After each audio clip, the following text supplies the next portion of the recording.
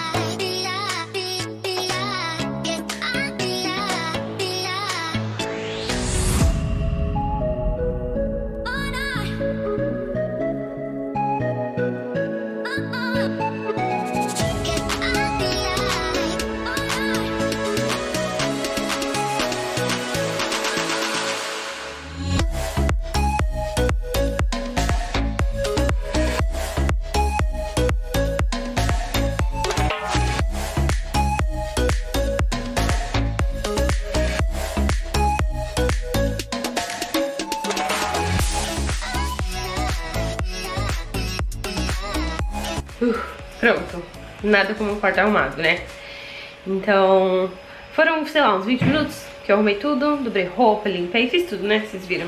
E agora eu tô em paz, tô com a cabeça no lugar de novo. Porque eu fico doida quando as coisas estão bagunçadas. Ó, tudo arrumadinho. Pronto, cama feita. Nada tem pó. Olha, arrumado. Aqui em cima tá só as coisas que eu uso mesmo.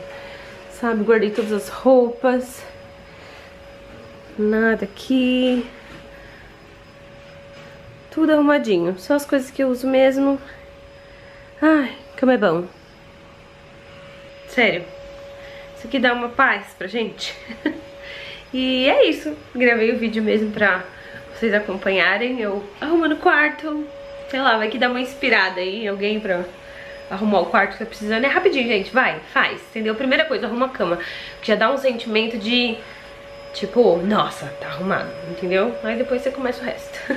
Tá bom? Então, muito obrigada por ter acompanhado o vídeo. Espero vocês no próximo. Um beijo. Tchau!